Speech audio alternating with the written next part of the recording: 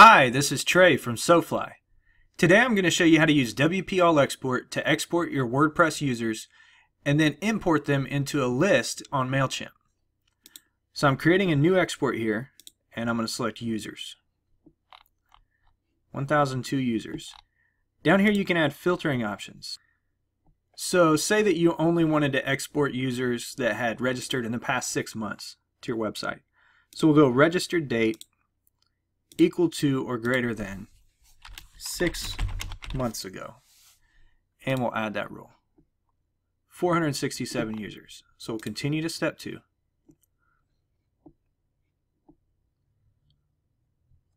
Okay, we don't need the login, so we'll click that and hit delete. Now we'll go over to standard and get the first name and the last name. Continue to step three. And confirm and run export. I'm going to pause the video while this exports. Alright, now we'll download the CSV and we'll head over to MailChimp. Go ahead into your list and add subscribers, import subscribers.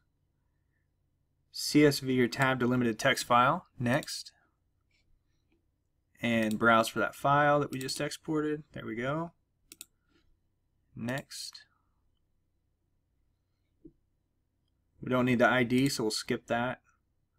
Save the email address, save the first name, and save the last name. Next. Add them as subscribed, and import. And I'll pause the video while this import runs. Okay, now we'll refresh the page. And there you have it, 467 people imported. So that's how easy it is to use WP All Export to export a list of WordPress users and add them in bulk to your MailChimp list. Thank you for watching.